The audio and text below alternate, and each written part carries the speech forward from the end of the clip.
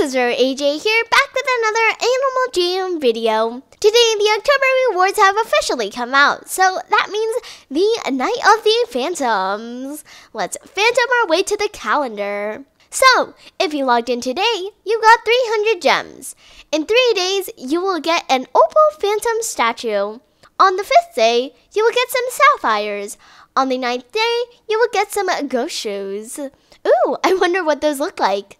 On the 15th day, you will get some phantom glasses. And on the 25th day, for the one and only Opal Phantom Portal. And as always, the secret chest which you get when you log in for 30 days in a row. Where will the Opal Phantom Portal too. What do you think is in the secret chest? Let me know down in the comments below. Thank you all so much for watching this video. Don't forget to like, comment, subscribe, and have an awesome rest of your day. Goodbye, everyone!